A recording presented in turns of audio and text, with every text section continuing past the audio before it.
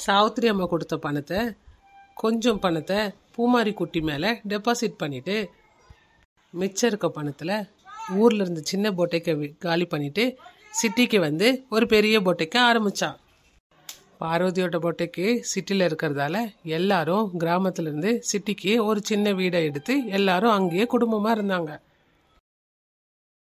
பார்வதியோட புடவை டிசைன் பிடிச்சதால எல்லா கடையை விட நம்ம பார்வதி கடைக்கு நிறைய கஸ்டமர்ஸ் வர ஆரம்பித்தாங்க எல்லா கடையிலும் கிடைக்கிற டிசைன்ஸை விட பார்வதி கடையில் இருக்கிறது ரொம்ப அழகாகவும் யூனிக்காகவும் இருந்தது. அதனால் மக்கள் பார்வதியோட டிசைனை ரொம்ப லைக் பண்ண ஆரம்பிச்சாங்க.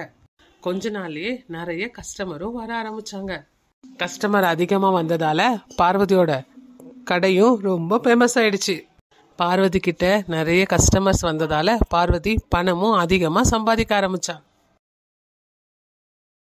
அவளுக்கு வந்த பணத்தை வச்சு கடையையும் நல்லா டெவலப் பண்ணிட்டா பார்வதி. ஸ்டார்டிங்கில் சின்ன குழந்தைங்களோட ஃப்ராக்கு சாரின்னு ஸ்டார்ட் பண்ணவ நல்லா வளர வளர பெரியவங்களுக்கு லெஹங்கா வரைக்கும் நல்லா தைக்க ஆரம்பிச்சா.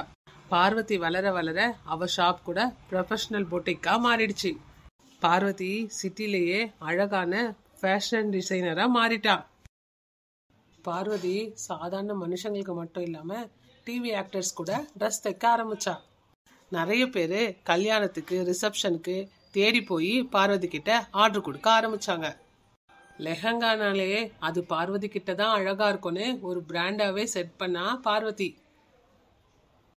நிறைய சீரியல் ஆக்டர்ஸ் சினி ஆக்டர்ஸ் எல்லாருக்கும் பார்வதி கிட்ட ட்ரெஸ் எடுத்து போட்டு பார்வதிக்கு நிறைய ஹேடும் கொடுத்தாங்க.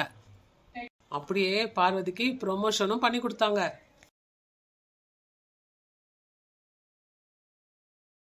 பார்வதி ட்ரெடிஷ்னல் ட்ரெஸ் மட்டும் இல்லாமல் மாடல் ட்ரெஸ்ஸையும் பண்ணி கொடுத்தா.